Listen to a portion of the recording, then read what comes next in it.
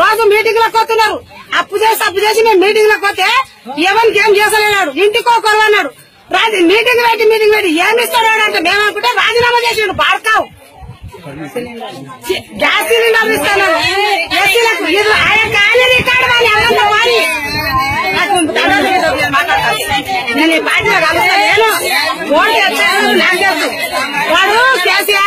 వాడు బంగారు పనులు మన బిడ్డకి ఇచ్చిండు చీరాలు కట్టిండు.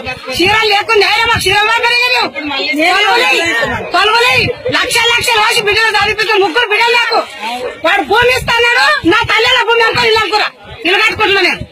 ఏది ఇప్పుడు డబుల్ బెడ్రూమ్ వాడికి పరిగిన కింద వస్తే చీపులు కట్టగిస్తాం కొట్టమని గద్ద ముక్కాడు.